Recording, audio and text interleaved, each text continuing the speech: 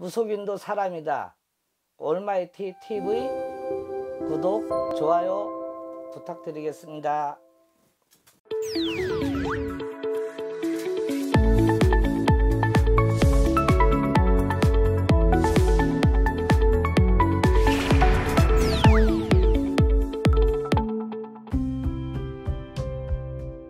이 토끼띠 분들의 운세가 올 금년 경자년에는 그래도 나쁜 것보다는 좋은 일들이 많을 것으로 예상이 되고요. 그래서 이 토끼띠 분들이 대체적으로 머리는 좋거든요. 지능을 많이 갖고 있어요. 그래서 토끼띠 분들이 대체적으로 이- 어, 모든 매사에 게으르질 않아요. 열심히 뛰는 사주가 돼 있거든요. 그래서 남들보다 더 뛰고 지금보다는 더 나아지는 그런 걸 항상 갈구하는 그런 사주가 돼 있기 때문에 그래도 열심히 노력하는 그런 성향이거든요.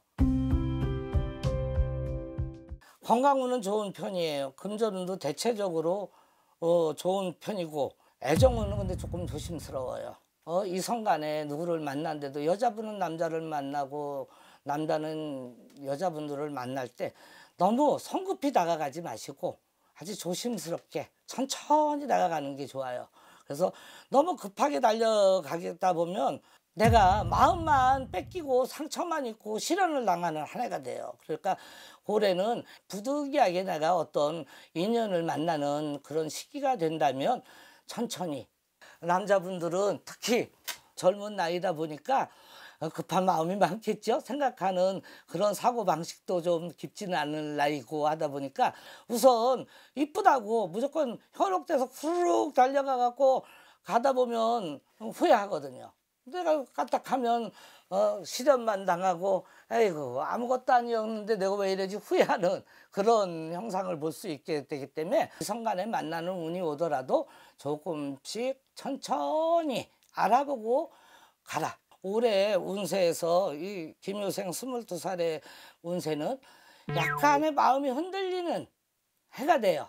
쉽게 말해서 내가 지금 하고 있는 게 옳을까? 나는 이공계를 선택했는데 아이고 이거 문과로 갈 걸 잘못했나? 문과로 다시 한번 전향해 볼까? 뭐 이런 갈등 그런 것들이 올 수 있는 해거든요. 근데 올해 이 특히 김효생 22살 분들은 너무 이 변동이나 그런 게 없어요. 되도록이면 갖고 있는 진로를 가지고 가는 게 더 현명하다고 볼 수 있습니다. 그래서 지금의 것을 갖고 가는 게 낫지 뭐 변동을 전공을 바꾼다든가 아니면 다른 일을 해보겠다든가 하고 있는 걸 버리고 한다든가 그러면 건 또 별로 좋지 않다고 생각이 되는 그런 해니까 조금 조심해 갔었으면 좋겠고요.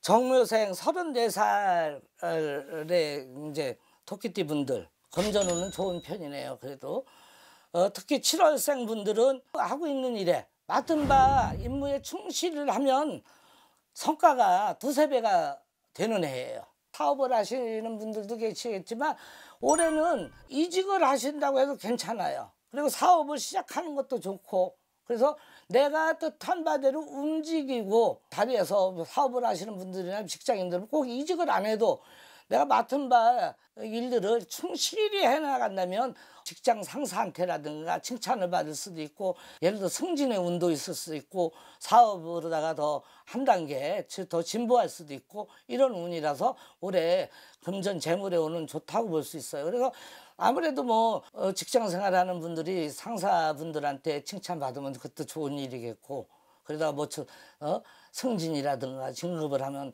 돈도 더 생길 수도 있고 아무래도 그런 월급이 올라갈 수도 있잖아요. 그러면 아주 안 불길하네요. 참 이런 것도 어쩔 수 없이 그래도 말씀을 드려야 될 것 같아요. 또 올해는 한 안 좋은 한 해가 예상됩니다. 쉽게 말해 금전운은 운도 아주 안 좋고 사업하시는 분들은 실패를 볼 수도 있는 운들이 이런 분들은 정말로 더 어? 돌다리도 두들겨 보듯이 심사숙고해서 더 많은 거를 생각을 해야 돼요. 너무 빠른 결정이라든가 이런 건 더욱더 금물이죠. 사업하시는 분들도 그렇고 시기상조라는 거죠. 올해 이분들은 직장을 내던지고 나온들 무슨 뾰족한 수가 있겠습니까? 운이 안 좋은데 무슨 사업을 해요? 소용없다는 거죠. 그래서 이런 분들은 자중자에서 직장 생활 하시는 분들은 자중자에서 조금 더 기회를 나중으로 다 미루는 게 좋겠다고 생각을 되고요. 특히 안 좋은 분들이 2월생 아까도 뭐 슬기롭게 넘어갈 수도 있겠지만 이런 분들은 정말로 어, 어떻게 무속인이라든가 아니면 뭐 사찰에가 스님하고 상담을 하든가 내 마음부터 안정을 시키고 어, 조금 더, 어, 더 많은 조언을 구해서 어, 안 좋은 일은 대처해 나갈 수 있는 방법 그것도 추구해 보는 것도 좋은 방법일 수도 있어요. 개묘생 58세 금전, 애정, 건강은 큰 문제는 없어요.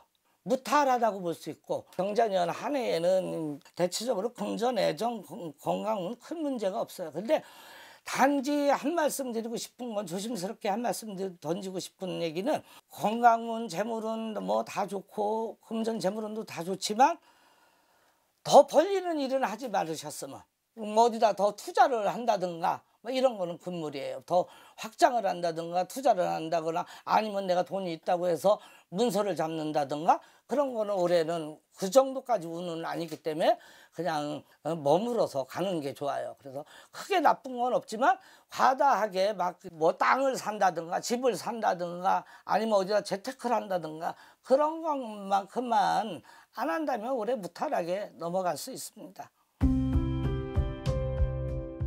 그리고 70세 분들은 건강은 좋지만 건강이 조금 조심이 되네요. 뭐 연세 드신 분들이라도 이제 요 분들은 금전운도 좋고 그렇지만 건강만 약간 조심하셨으면 좋겠어요. 조금 넘어져서 조금 다치는 정도의 미미한 그런 어, 운이 있기 때문에 그런 것만 조심하면 좋겠습니다. 2020년 어, 토끼띠 운세는 대체적으로 어, 그래도 조금은 안 좋다고 볼 수 있어요. 그런데 에, 내년을 기약을 했으면 좋겠습니다. 올해는 그 올해 운보다 안 좋다고 좌절하지도 말고 그래서 내년 사람이 한평생 살아가는데 올해만이 전부는 아니거든요. 또 내일도 있고 모레도 있고 후년도 있을 수 있고 앞으로 미래가 다 있는 거니까 올해는 어, 나중을 생각해서 조금 음, 어렵더라도 조금 슬기롭게 넘어가는 한 해가 됐으면 좋겠습니다. 그래서 그 대신 어, 내년의 운세는 좋아지기 때문에 그거만 잘 넘어가시면 후반기서부터는 상승할 수 있는 운이라고 보겠네요.